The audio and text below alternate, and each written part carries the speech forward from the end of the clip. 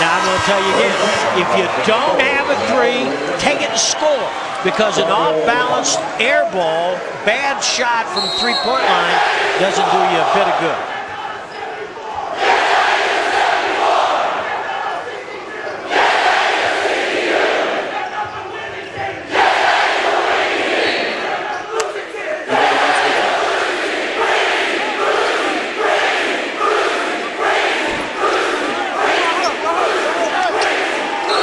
Isn't that neat? I I think that's so special. That's better choreography than the Mormon Tabernacle Choir.